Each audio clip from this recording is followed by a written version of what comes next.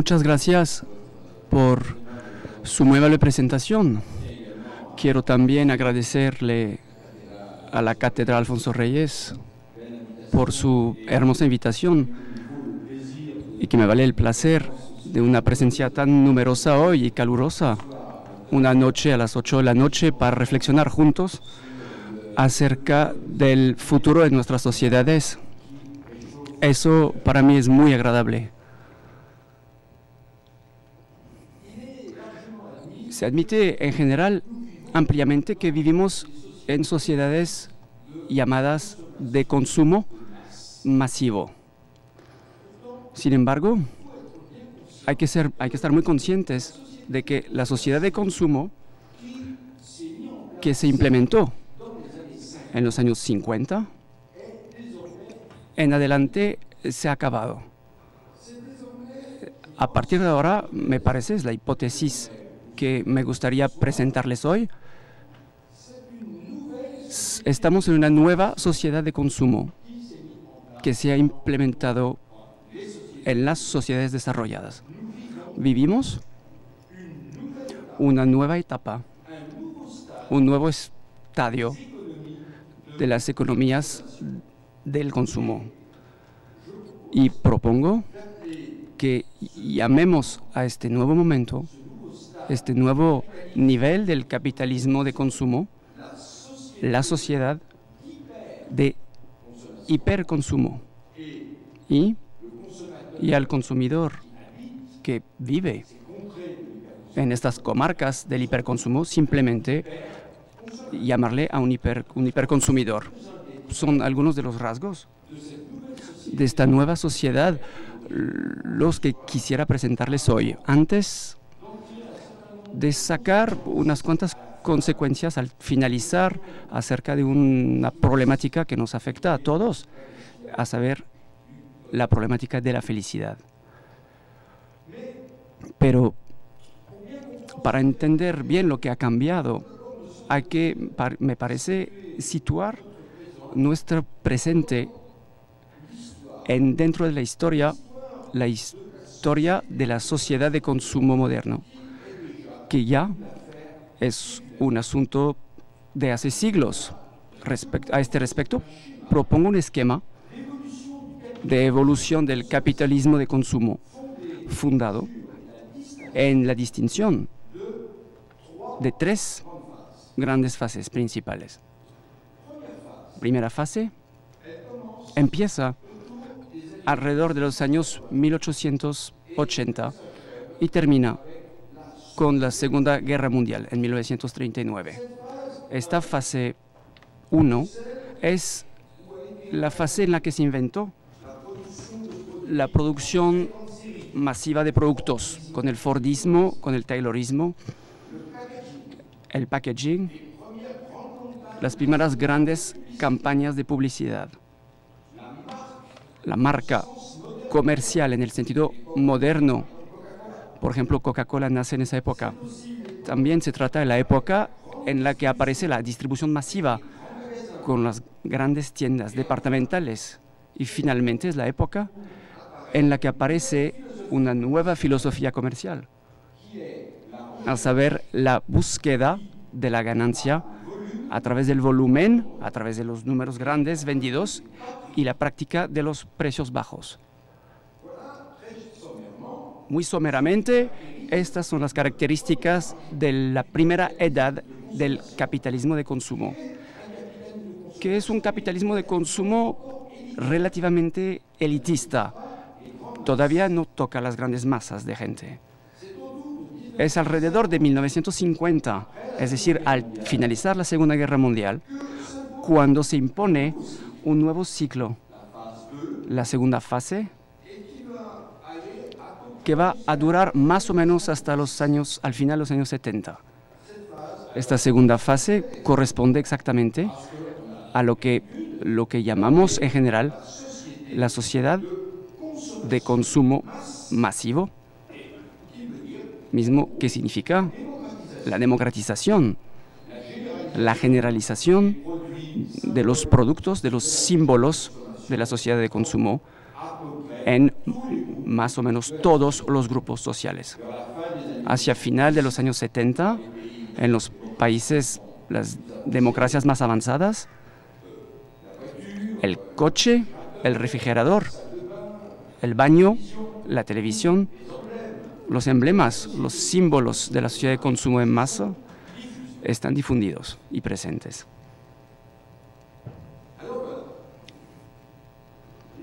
Ahora bien, la, la hipótesis que propongo es que este ciclo segundo, esta segunda fase, ya se acabó. Desde más o menos los años 80, estamos en una nueva fase, una fase que se ha implementado poco a poco. Estamos en lo que califico de sociedad de hiperconsumo. De cuáles son los rasgos principales que caracterizan, que caracterizan esta nueva edad. Primer rasgo característico de esta sociedad de hiperconsumo, a partir de finales de los años 70, vamos a asistir a la aparición de lo que llamamos el pluriequipo de los hogares. ¿Qué significa? Que en un mismo hogar vamos a ver multiplicarse un mismo producto. Por ejemplo, varios televisores para, para una sola familia, varios autos. Y como lo ven hoy en día, varios teléfonos. Casi, casi el teléfono para cada uno, incluso para los niños de 6 o 7 años. Entonces, la sociedad de consumo masivo se enfocaba en la familia, el hogar en general, era el equipo de una familia. Con la sociedad de hiperconsumo es el equipo, el equipamiento de individuos dentro de su individualidad. A este nivel hay que constatar que la sociedad de hiperconsumo favoreció la, individualización de los comportamientos. Exacerbó el individualismo que la sociedad de consumo ya había creado, porque en adelante, a partir de ahora, cada uno tiene su propio aparato, cada quien tiene su equipo propio y existe un uso personalizado del espacio y del tiempo. Los niños van a su cuarto a ver las películas en DVDs hablan por teléfono independientemente del resto de su familia, independientemente de la mirada del papá o de la mamá.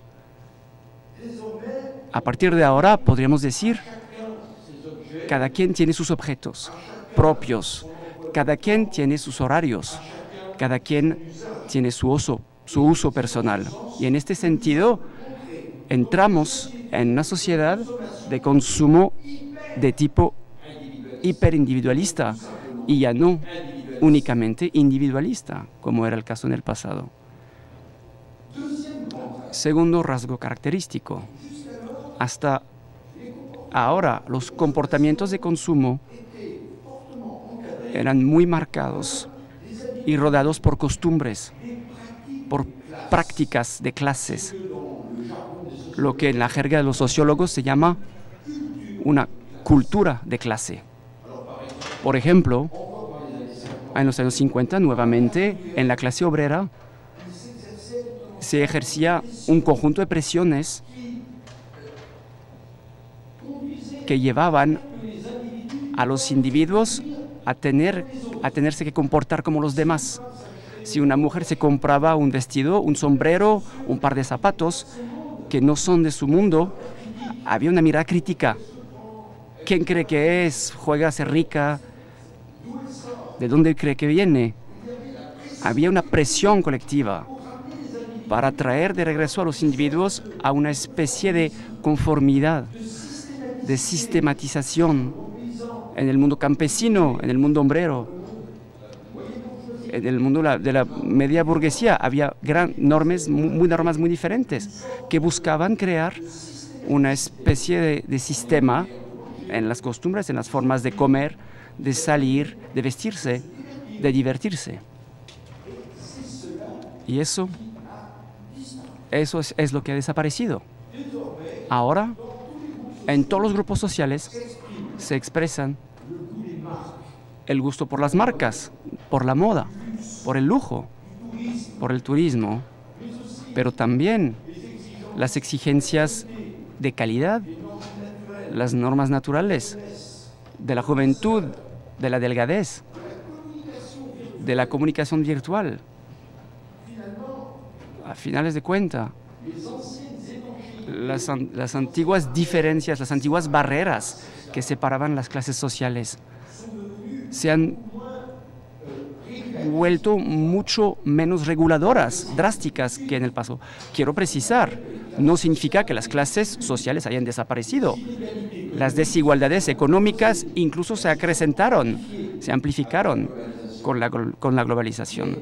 Pero, en cambio, las culturas de clase ya no tienen la fuerza que solían tener en el pasado. En este contexto,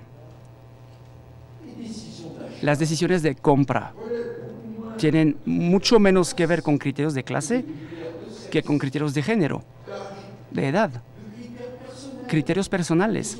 Y sobre todo, esto genera un consumo mucho más ecléctico, un consumo que cambia de acuerdo a las circunstancias.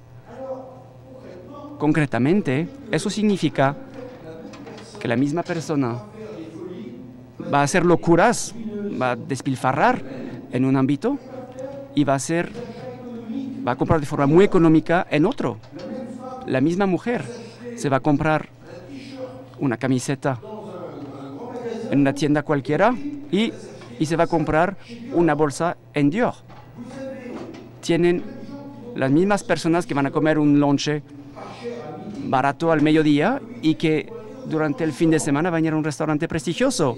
Tienen un proceso de descoordinación en, dentro de los modos de consumo que no existían en el pasado, porque había cierto control de lo colectivo respecto al individuo. Entonces, podemos decir, me parece, que el consumo entró en un proceso de cambio rápido, de desinstitucionalización.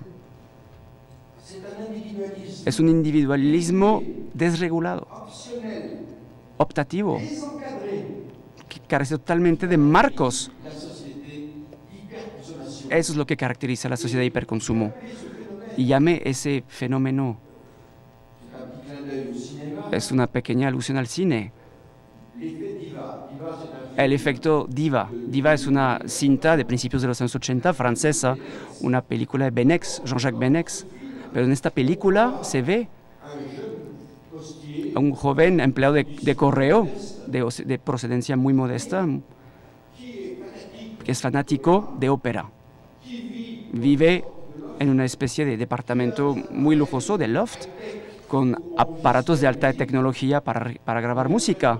Estamos muy lejos de, de la típica caricatura de la clase obrera, que escucha acordeón en Francia, música popular, tenemos aquí un fenómeno totalmente descontrolado, que carece totalmente de marcos y de barreras. Y eso es característico de la nueva edad del consumo. Tenemos un fenómeno de paralelismo a nivel macroeconómico. El capitalismo ahora es un capitalismo desregularizado, lo que el economista Ludwig llama un turbocapitalismo es la misma, lo mismo pasa para el consumo.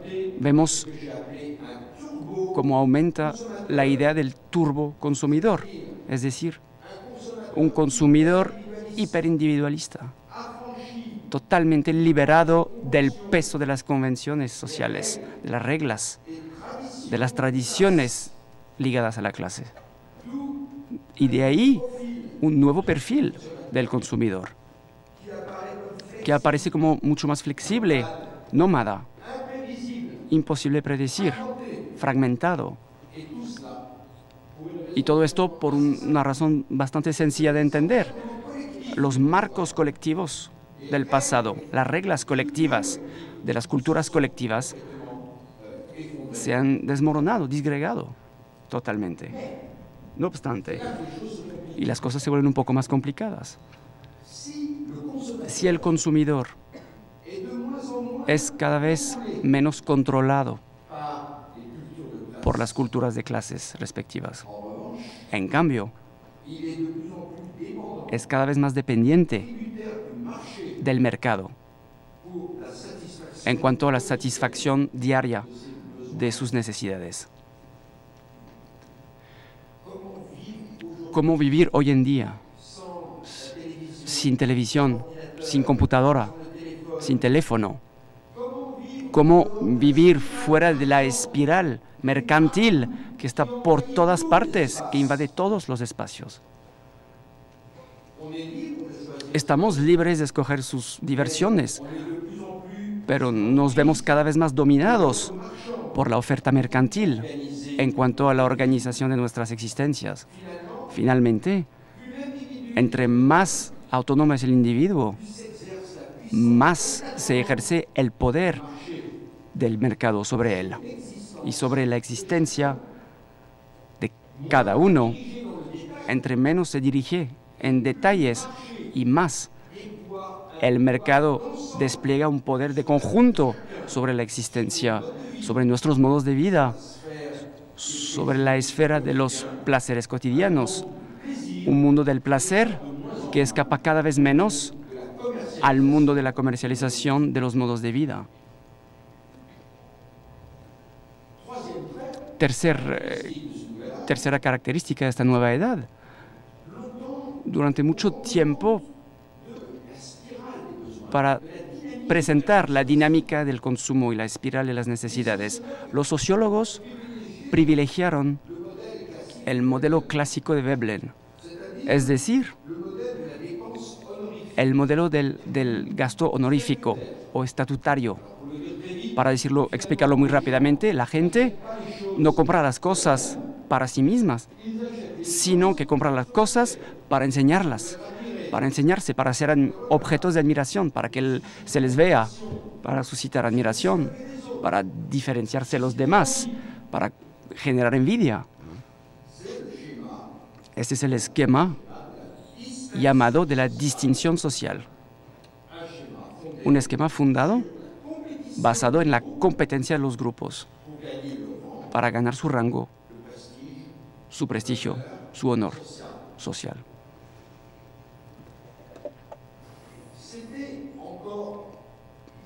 todavía valía en los años 50.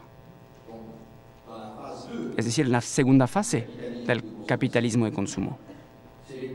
Es la época en que un sociólogo estadounidense, Vance Packen, escribe un libro que se llama Los obsesionados del standing, del nivel de vida. Había que comprar el refrigerador, el carro, para ser admitidos en la clase media estadounidense, con, la, con el pabellón suburbano y todos los símbolos del, nivel de vida son imperativos para ser aceptados. El, el problema es que este modelo es cada vez menos pertinente hoy en día, porque los objetos de consumo se han vuelto ordinarios, banales, y existen en todas las capas de la sociedad. El televisor, el videojuego, los teléfonos, todo esto ya no se compra para distinguirse, para marcar su diferencia con los demás, sino que se compran con qué fin? Se compran para satisfacer para satisfacerse a nivel privado, de forma hedonística, lúdica, de forma de comunicación y también, finalmente, de acuerdo a una lógica de experiencia queremos ahora objetos que, con los que podamos vivir más que objetos vitrinas que vamos a enseñar a otras personas. Queremos hoy sentir, experimentar sensaciones a través del universo del consumo. En estas condiciones es donde el consumo intimista propia triunfa hoy en día sobre el consumo encargada, impuesta por la preocupación conformista de clases. La sociedad de hiperconsumo coincide con el triunfo de un consumo más emotivo que estatutario, que social, un consumo más sensitiva que prestigiosa, un consumo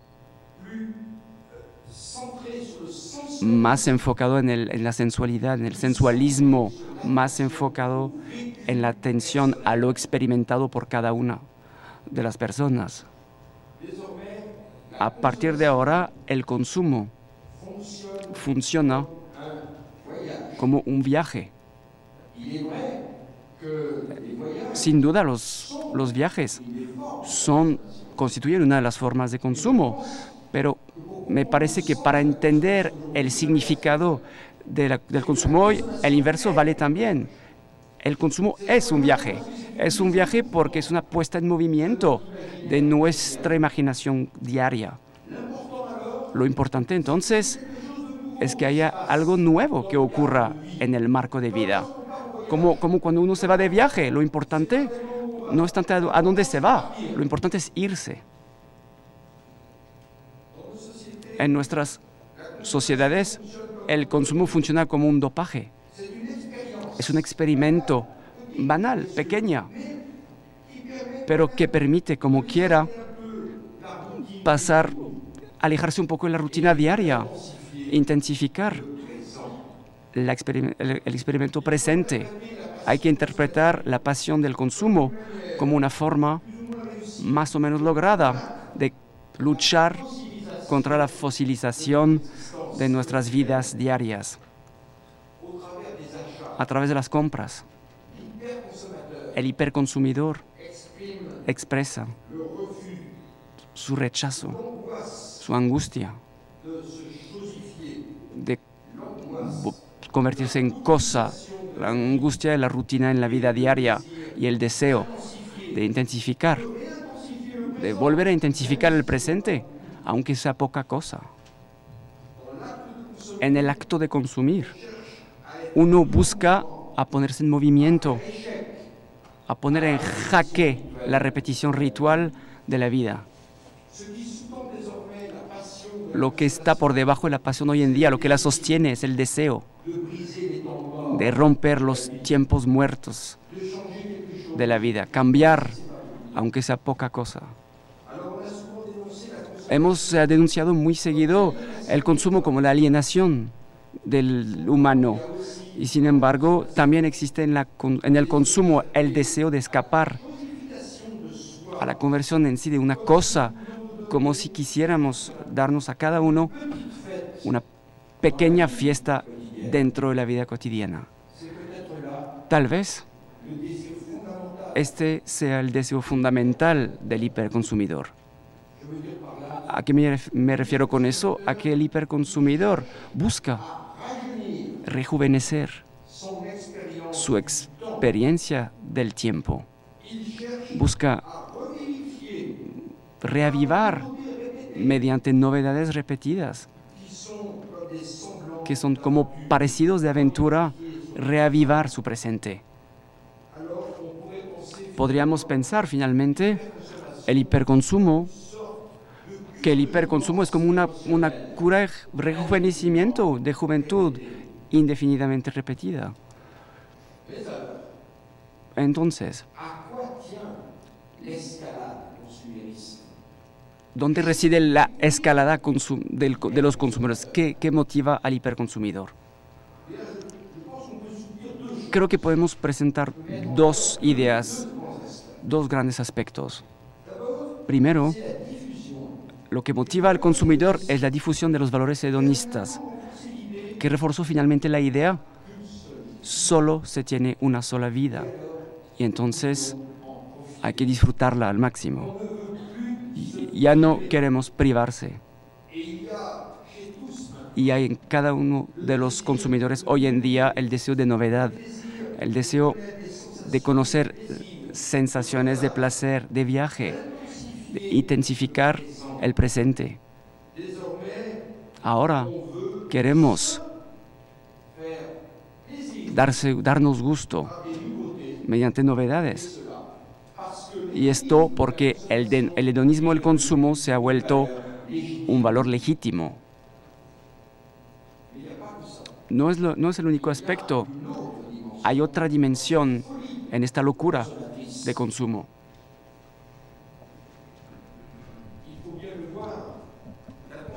El consumo funciona también como un paliativo a la vida difícil, pesada de los individuos. El consumo también es un consuelo frente a, la miseria cotidiana, a las miserias cotidianas, una forma de compensar nuestra soledad, decepciones, nuestras frustraciones íntimas o profesionales. Hay un aspecto terapéutico, a final de cuentas, dentro de la bulimia de consumo. Esperamos finalmente del consumo que nos ayude a sentirnos mejor. Y como los individuos en nuestras sociedades son más depresivos de lo que solían ser, obviamente el consumo de cierta forma sustituye lo que podía ser la misa en sociedades mucho más tradicionales. Cuarta característica de esta nueva sociedad. Para caracterizar este nuevo nivel del capitalismo, sociólogos han hablado del advenimiento de una cultura neodionísiaca, es decir, enfocada en el presente. Y la idea es que los modernos se enfocaban en el porvenir y sacrificaban, por ende, el presente. Era la idea de la Revolución Francesa, por ejemplo. Se vive mal, pero sirve para preparar un mejor futuro a la humanidad. Y se nos dice, hoy en día ya no se trata de eso para nada. Ya no queremos vivir para el futuro. El futuro no nos interesa. Queremos vivir ahora, aquí, gozar del tiempo presente, actual. Entonces veríamos recomponerse lo que desde los latinos, desde Horacio, se ha llamado el carpe diem, es decir, vivir al día, disfrutar de cada instante de la existencia. No comparto este análisis. En realidad, es menos, tiene menos que ver con un carpe diem que caracteriza el espíritu del tiempo que la preocupación frente a un porvenir lleno de incertidumbre, de riesgos profesionales, pero también de riesgos higiénicos, sanitarios. Ahora, el hiperconsumidor ya no puede considerarse fuera de la obsesión de la salud y de la longevidad. Los gastos médicos, los exámenes, las consultas médicas, todo está al alza, todo explota. El hiperconsumidor se ha vuelto un hiperconsumidor de salud. Estamos en una sociedad de hiperconsumo médico. Y nada más estamos al principio de este movimiento. Con el alargamiento de la vida, obviamente, la lógica médica en términos de consumo va a aumentar y tomar cada vez más importancia. Especialmente porque esta cultura médica es una cultura de la prevención. Hoy en día, ya no se trata únicamente de curar, sino de anticipar la enfermedad. Depistar los factores de riesgo potencial. Nos dicen que hay que cambiar de estilo de vida, ya no hay que fumar. Hay que correr para mantener la, la salud. La ideología médica lleva a una transformación literal de los modos de vida. Me parece que hay una enorme paradoja en nuestras sociedades. Por un lado, el hedonismo es ampliamente vehiculado por la publicidad, por la televisión, por los medios masivos, por el cine, pero en profundidad hay otra lógica. que trabaja, que hace moverse nuestro mundo. Y esta lógica es la medicalización de la vida, es decir, que la ideología médica penetra, permea todos los aspectos de la vida. Tiene menos que ver con el gozo, la transgresión, como en los años 60, lo que nos caracteriza hoy. Lo que nos caracteriza hoy en día es la salud, la búsqueda de salud, la longevidad, la prevención.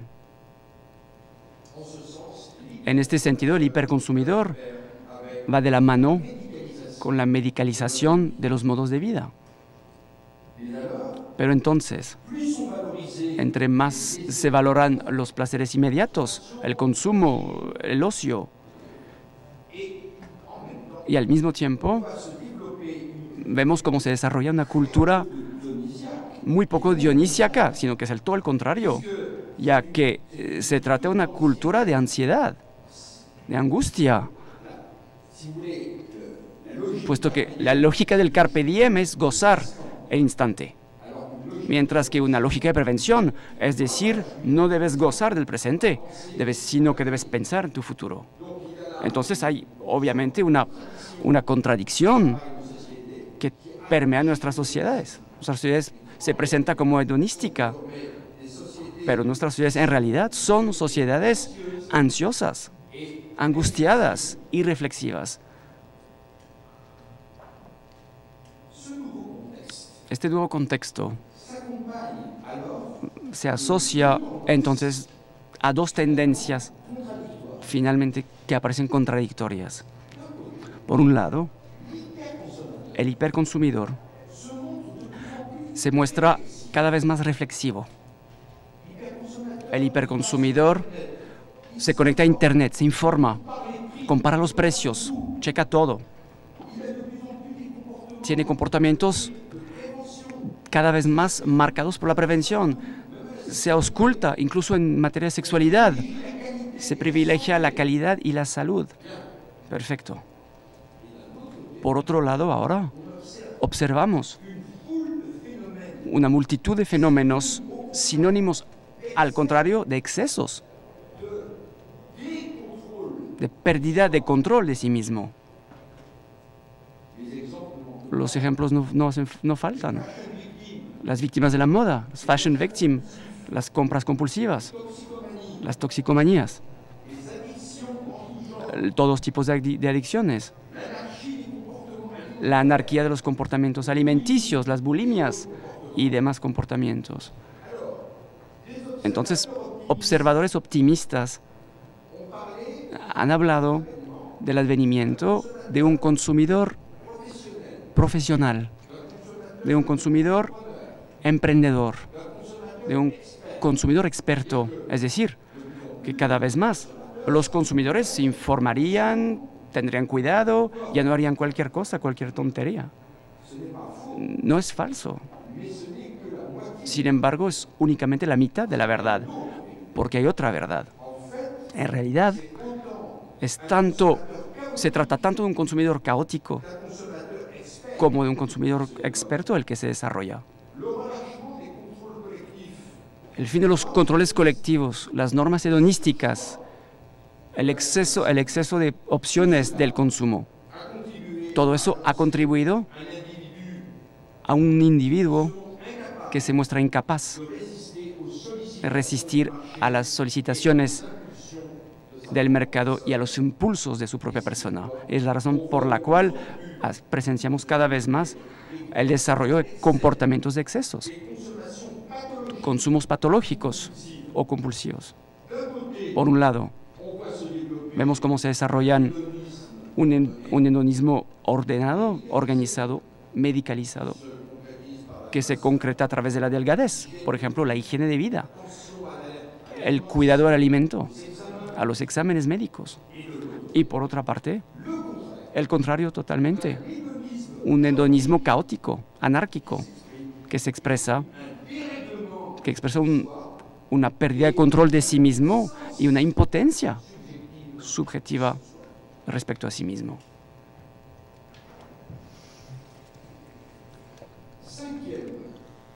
Quinto y último rasgo característico, antes de abordar una, una cuestión un poco más existencial, lo que caracteriza también eh, la nueva edad del hiperconsumo también es una nueva relación con la comodidad, con el confort y el bienestar.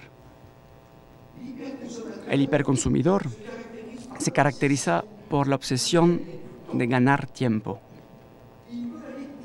Quiere ir cada vez más rápido, suprimir los plazos, las demoras, las esperas. Hay que comprar todo inmediatamente, cuando cuando quiera, durante el día, durante la noche, queremos comprar y comer fresas en Navidad y al mismo tiempo ya no aguantamos esperar. Es la razón por la que están, porque las, las tiendas están abiertas de noche, hay distribuidores, distribuidores automáticos por todas partes. En las grandes ciudades las tiendas están abiertas toda la noche. Los aeropuertos, las estaciones de tren se parecen a centros comerciales para que la gente pueda comprar en cualquier momento, el día y la noche. En Internet, obviamente, la lógica llega a su punto culminante, porque allí es posible ser un consumidor sin parar, las 24 horas del día, 365 días del año, por todas partes, en cualquier lugar, puede consumir cuando lo desea. esta reducción de las limitantes del espacio del tiempo propias del, consumo de esta nueva edad. En este contexto, el hiperconsumidor es aquel que no, que no aguanta más esperar. Y todos nos hemos vuelto, de cierta forma, alérgicos a la espera. nos devora el tiempo comprimido del, instante, de la inmediatez, de la urgencia. Entonces, hoy en día fabricamos anteojos y se revelan fotos en una hora. Con el celular se toma la foto, la puede ver al mismo tiempo, la manda y la borra. Todo eso se hizo en unos cuantos segundos. Entonces estamos aquí en un tipo de consumo que integra cada vez más el factor temporal y el factor de velocidad.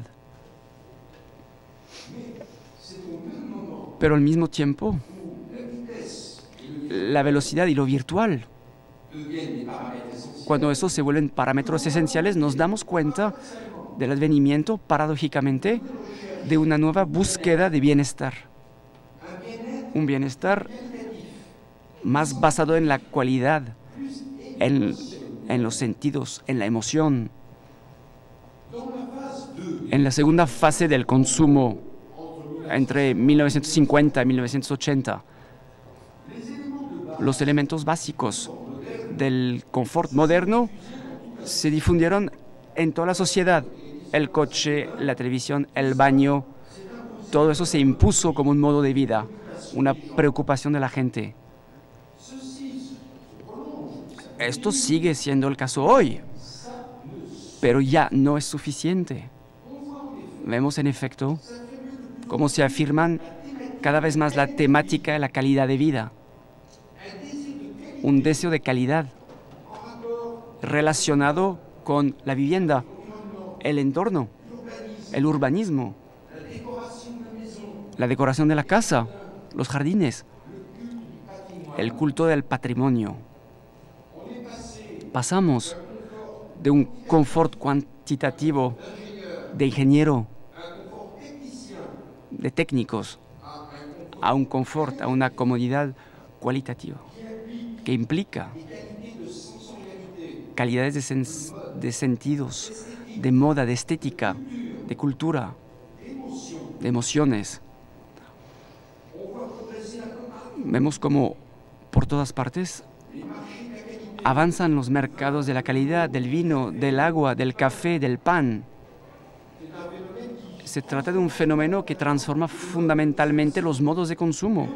También vemos esta nueva cultura del bienestar con el advenimiento de un nuevo diseño, un diseño sensorial, de formas redondas, fluidas, sensuales, que remite a una imagen reconfortante, materna de los objetos, muy diferente del estilo rígido, agresivo de los años 50 o 60. Lo vemos también, este nuevo bienestar, lo vemos también con el auge de la pasión, de la decoración doméstica, el amor por los jardines, por las plantas. También vemos el éxito de las talasoterapias, de los masajes, de las saunas, de los baños californianos, pero también todo lo que llamamos los deportes, deportes extremos, el zen, el yoga. Todos esos ejemplos nos remiten a una nueva centralidad del cuerpo, el cuerpo, las sensaciones, la búsqueda de un bienestar íntimo, de un mejor estar físico e interno. Presenciamos a la psicologización, a la sensualización e incluso, en ciertos aspectos, a la espiritualización del bienestar. Se nota, lo vemos claramente en el desarrollo de la corriente llamada desarrollo personal, las terapias psicológicas, la ganancia, la importancia del interés del budismo, del New Age, las nuevas religiosidades emocionales. La consecuencia de todo esto es, es que nuevos mercados se edifican. Mercados que no pueden ser enfocados únicamente en la eficiencia funcional de los productos. Vamos hacia mercados en los que los productos ya no pueden limitarse a ser funcionales y de precios accesibles. También deben despertar el placer de los sentidos, brindar una calidad sonora y táctil, brindar una aventura sensorial y emocional. Me parece que la tendencia para el futuro, en términos de innovación, va a ser la cohabitación de los contrarios, de los opuestos, la cohabitación del materialismo y de la espiritualidad, la combinación de lo tecnológico y de lo estético. Piensen, por ejemplo, los trenes de gran velocidad hoy en día son decorados por alguien como Christian Lacroix, un diseñador de modas. Tienen ese, ese maridaje de la alta tecnología y de la moda. Tienen un maridaje, una unión entre lo sensitivo y la seducción. Entonces, falta ahora valorar, evaluar esta sociedad de hiperconsumo en el plan existencial. ¿Cuáles son los efectos de este consumo descontrolado sobre nuestras vidas? ¿Cómo evaluarlo? ¿Cómo en lo relativo a la felicidad de los individuos? En, en esta problemática, lo que se impone es la situación paradójica en la que nos encontramos. Vivimos cada vez más viejos, vivimos y tenemos una mejor forma, con mejores condiciones materiales. La vida sexual es libre, dejada las preferencias de cada uno. Los nacimientos hoy en día se escogen. Uno se puede casar o no casarse. Todos estos elementos positivos explican que nueve de cada diez europeos se declaran felices o incluso muy felices. Por ello, visto desde el punto de vista de un marciano, desde muy lejos, en este planeta hay mucha gente que se dice feliz, que se siente feliz. Al ver las cosas de un poco más cerca, obviamente las cosas son menos sencillas las cosas se vuelven bastante más complicadas. En la mayor cantidad se dice feliz, pero nunca se ha visto tanta tristeza, tanta ansiedad, tanta depresión. Decimos que nos sentimos felices, pero cuando se le pregunta a la gente, piensan que los demás no están felices. Es una investigación muy interesante. Les preguntan, ¿ustedes se sienten felices? Yo sí me siento feliz. ¿Piensan que los demás lo sean? No, los demás no. Bueno. ¿Le, ¿Le, preocupa, ¿Le preocupa su futuro en su compañía? No, para nada, no estoy preocupado. ¿Le parece que los demás deberían estar preocupados? Sí, deberían estar preocupados, sí. Más vale que se preocupen. Una paradoja extraña. La sexualidad es libre ahora. Se puede consumir pornografía las 24 horas del día en Internet. No hay problema. Y sin embargo, la miseria sexual es persistente. Se acaba de hacer una, encuesta sobre la vida sexual en 26 países diferentes. De acuerdo con esa encuesta de este año, 2007, más de una persona de cada dos, hombre y mujer, es lo mismo en este nivel, se declara insatisfecho o insatisfecha por su vida sexual. Nuevamente, la paradoja, en una época donde la libertad sexual es total, la miseria sexual no se ha eliminado. El hedonismo del consumo y de las diversiones es omnipresente. Pero las preocupaciones, las inseguridades sociales y personales crecen. En pocas palabras, podríamos decir que todo el mundo se declara feliz y al mismo tiempo todo el mundo se queja.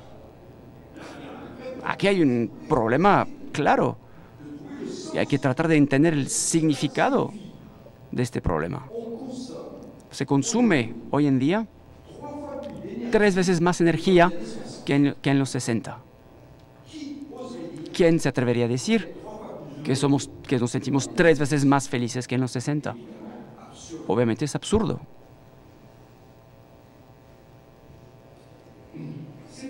Es la razón por la que familias de pensadores, de pensamiento, pregonan ahora un modelo de felicidad psicoespiritual, una felicidad interna, hecha posible por la sabiduría, como una especie de avería de la felicidad. A través de lo material se ve el advenimiento de nuevas formas de espiritualidad, que dice, la felicidad no son las cosas, las cosas no le van a dar felicidad, es un trabajo personal, es un trabajo espiritual, una labor sobre sí mismo. Este paradigma se concreta en el éxito de las literaturas religiosas, el budismo, las técnicas psicocorporales. Entonces, en todas estas corrientes, se nos dice que basta con modificar su forma de pensar, armonizar el pensamiento y entonces la felicidad llegará. Modificar adentro y lo de afuera funcionará y, encontrar la felicidad. Aprendan a quererse, es lo que dicen los profetas del New Age. Modifiquen su forma de pensar y su vida se, hará alegre, próspera y además tendrá buena salud. Fantástico. Dentro de este modelo, la felicidad nos pertenece. La felicidad es algo que se aprende, que se adquiere.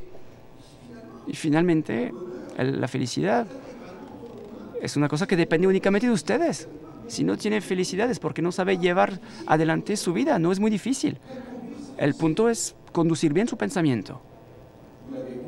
Lo habrán, lo habrán entendido con mi tono, Mm, me causa, estoy muy escéptico al respecto delante de semejantes este, encantaciones. Estos programas de felicidad me parecen una nueva forma de pensamiento mágico y vehiculan mucha ingenuidad y falsas promesas, porque si hay una cosa que la experiencia de la vida enseña, es es que somos totalmente incapaces de volvernos dueños y poseedores de la felicidad. Porque como lo dijo Rousseau, el hombre es un ser incompleto, incapaz de bastarse a sí mismo. El hombre necesita a los otros, a los ajenos para conocer la felicidad. Pero porque la felicidad es inseparable de la relación con los demás. Entonces, el hombre es inevitablemente, está condenado a las decepciones y a las heridas de la vida. Somos dependientes de los demás para ser felices. Y entonces mi felicidad necesariamente es fugaz. No podemos sino experimentar una felicidad inestable sin el otro, sin los demás. No soy nadie, no soy nada, pero con el otro, con los otros, estoy a su merced. Es la razón por la que, dice Rousseau, solo se puede acceder a, un frágil, a una frágil felicidad. La felicidad estable, la felicidad eterna es un asunto divino, no un asunto humano. La lección es transparente, que no se puede ser feliz solo. Entonces, no somos dueños de nuestra felicidad. La felicidad nos llega o se nos va en gran parte sin que intervengamos nosotros. La felicidad, por ende, es lo que no poseemos, lo que no dirigimos. La felicidad viene cuando quiere, no cuando yo quiero que llegue. Nuestras alegrías y la felicidad de vivir no son cosas de las que dispongamos libremente. No las gobernamos. Son sentimientos y puesto que son sentimientos, van y vienen. En gran parte sin nosotros. Obviamente, la filosofía la labor en sí mismo, las espiritualidades religiosas, filosóficas, pueden tranquilizarnos, pueden ayudarnos a vivir mejor. Pero como el resto, no hay ninguna prioridad frente a estos fenómenos. Quedan muchas ilusiones de creer que se puede edificar la felicidad como se puede edificar su casa la felicidad se encuentra, no está a nuestras órdenes. Y no hay que sobrevaluar el poder de la conciencia sobre nuestros estados experimentados. Lo único que podemos esperar de las escuelas de sabiduría, y no es cualquier cosa, es un remedio provisional, una solución transicional de duración limitada. No nos engañemos, las escuelas de sabiduría siempre tendrá una eficacia reducida comparada con el estado de nuestras disposiciones psicológicas, porque el hecho es que que nos guste o no, la felicidad y la alegría de vivir tienen más que ver con un estado mental o un dote recibido que el resultado del despertar o de la transformación de la conciencia. Para concluir con esta reflexión, quisiera subrayar nuevamente unos cuantos puntos que prolonguen esta problemática de la felicidad. Primer punto. Vemos que a pesar del perseguimiento de la, de la dominación psicocientífica del mundo, vemos que la impotencia a gobernar la felicidad se perpetúa. Nuestro poder sobre el mundo sigue una curva exponencial. Pero el poder que tenemos sobre la alegría de vivir no se, no se mueve, se queda inmóvil. El proyecto de potencia ilimitada de los modernos aquí llega a sus límites. La felicidad no progresa, no avanza, escapa al dominio humano. Desde luego, la ciencia, la técnica, la política tienen un poder enorme. El poder de hacer retroceder la mortandad, la miseria, la tiranía, es decir, la infelicidad de los hombres. No obstante, no tienen el poder de crear la alegría de vivir.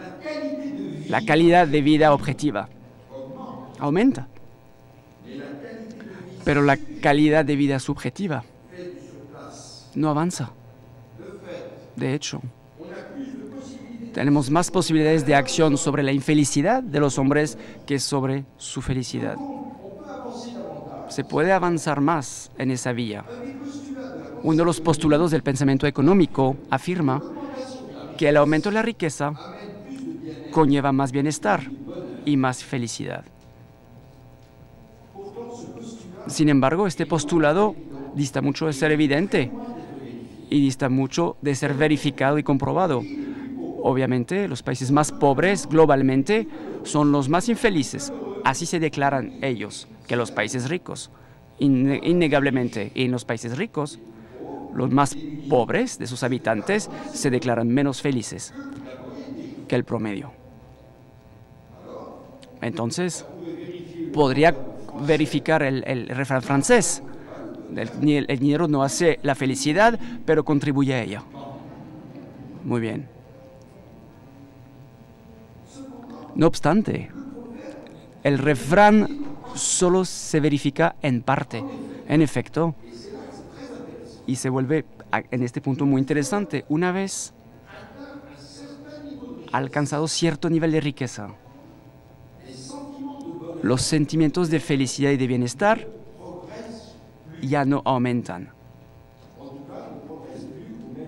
No al mismo compás, por lo menos, que los ingresos y el consumo. En Gran Bretaña, el ingreso de los hogares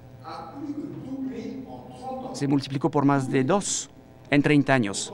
Y sin embargo, el índice de la felicidad no aumentó. En Estados Unidos, no, hay no se obtiene diferencia de felicidad entre las personas que ganan 40 mil dólares al año y las que ganan dos veces menos. Estados Unidos o Francia forman parte de los países más ricos del mundo y sin embargo, en materia de declaración de felicidad, los estadounidenses solo son número 17 y los franceses el número 39 del mundo. De hecho, de acuerdo a ciertos estudios. Más allá de 20 mil dólares anuales, aumentando su ingreso, no se aumenta la felicidad que antes. Es decir, que hay un momento en que la ausencia de ingresos evita la felicidad, sin duda alguna, la gran pobreza, pero después de cierto nivel, más allá de cierto nivel, aunque aumente la riqueza, la felicidad ya no aumenta.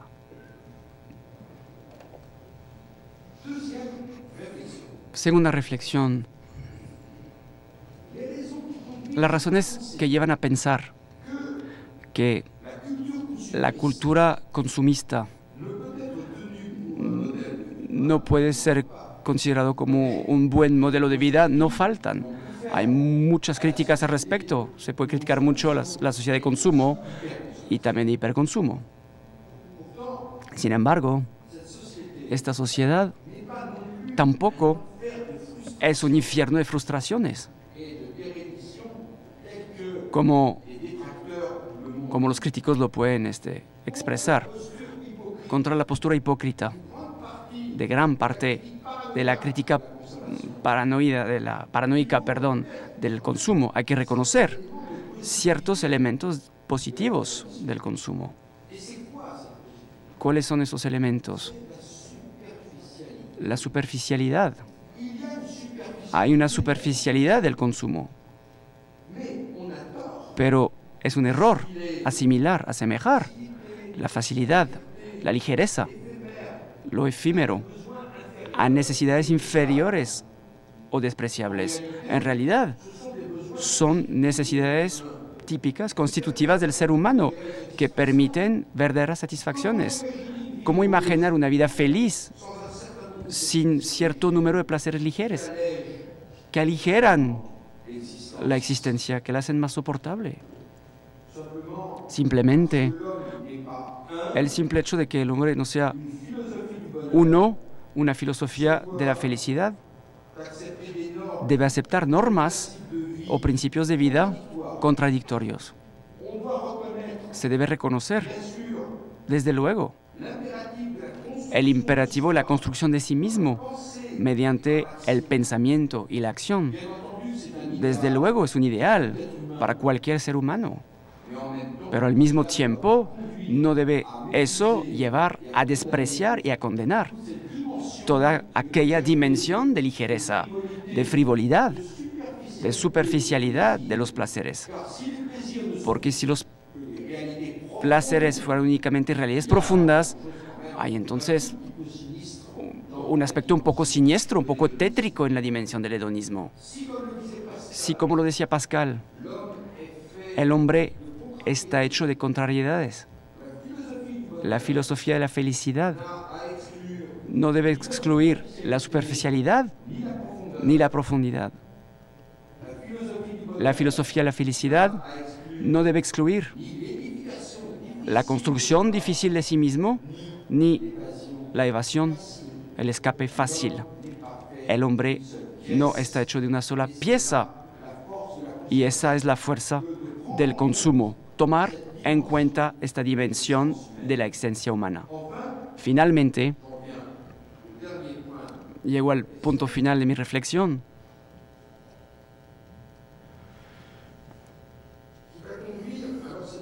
que me lleva a una reflexión más global ahora, que probablemente desembocaría en una dimensión más política.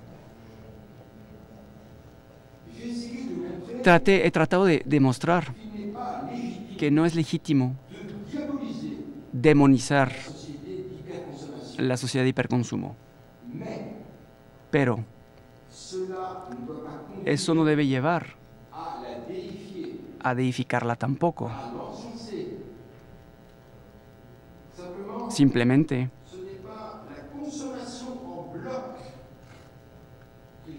lo que hay que criticar no es el consumo masivo, lo que es criticable es la excrescencia, el exceso. Y en particular, el hecho de vivir para el consumo. Como si el consumo se hubiera vuelto el conjunto de la existencia, la suma de la existencia. Esta perspectiva no es aceptable. Y no lo es porque el hombre no es únicamente un consumidor. El ser humano también es el ser que piensa, que aprende, que avanza, que busca a rebasarse a sí mismo. Y hay un aspecto triste en ver cómo el consumo invade demasiados espacios de la vida. Eso es lo que hay que corregir en aras de lo que llamo la ética de la persona.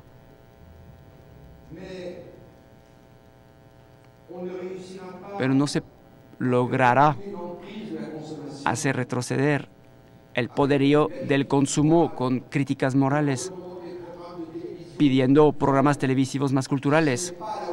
No está a la altura del problema. Para reducir la pasión consumista, solo existe una vía. Spinoza nos indica la vía a seguir. Hay que oponer una pasión a otras pasiones. Tenemos que inventar lo que llamo una pedagogía o una política de las pasiones. El objetivo que tenemos es ofrecer a los individuos propósitos, tareas capaces de, movilizar sus afectos y sus pasiones en ámbitos que, tienen, que no tienen que ver nada con lo que se puede consumir. Así es la única forma como se podrá frenar la fiebre consumista. ¿Qué puede llevar a los hombres a no buscar la felicidad exclusivamente en las compras de bienes mercantiles, comerciales? Me parece que son otras pasiones, otros deseos, otros centros de interés, los que sean, el trabajo, la creación, la política, el deporte, el arte, no importa, pero es acción. Debemos crear una ecología de la mente, de la existencia entera. Debemos encontrar un mayor equilibrio. El consumo no es un mal, pero tiene hoy en día un lugar excesivo que desbalancea, que desequilibra las modalidades de la existencia. Cuando uno tiene una auténtica pasión comprometida en la acción, entonces no hay necesidad de reducir el consumo. Se hace naturalmente, porque hay otros centros de interés en la existencia de la persona.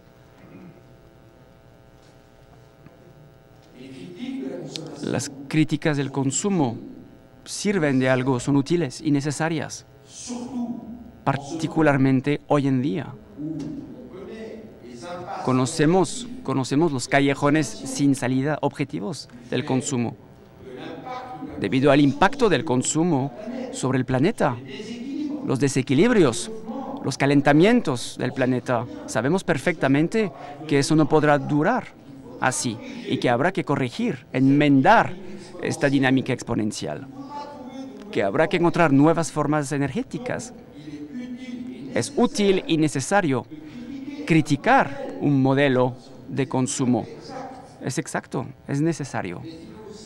Pero también es sumamente importante y crucial probablemente inventar nuevos modos de educación y de trabajo que deberían permitir que los individuos encuentren una identidad individual, así como satisfacciones en ámbitos que no tienen nada que ver con los paraísos pasajeros del consumo. La importancia de ello es que a través de otras pasiones el hombre pueda relativizar el mundo consumista y que así la adquisición de bienes y de marcas no aparezca como el alfa y el omega de la vida. Les agradezco mucho.